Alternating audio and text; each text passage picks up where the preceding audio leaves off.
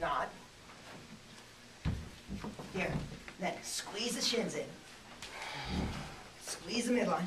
Roll the legs in as best I can. Groins back. Come on, see how wide my feet are? It's too wide. Come over here, can't get enough leverage. So go back here. It could be Buddha it could be Titibhasana. It's all prep for that stuff.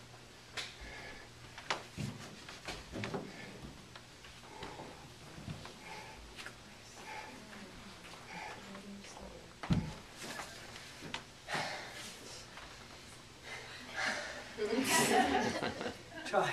You love it.